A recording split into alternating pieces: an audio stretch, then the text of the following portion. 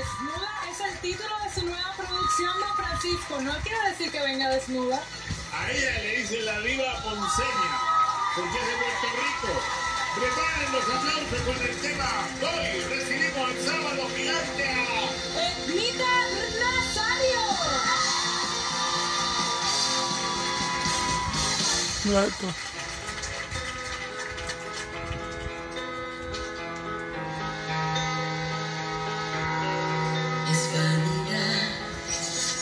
Quizás pensar que habrá más y querer amar por completo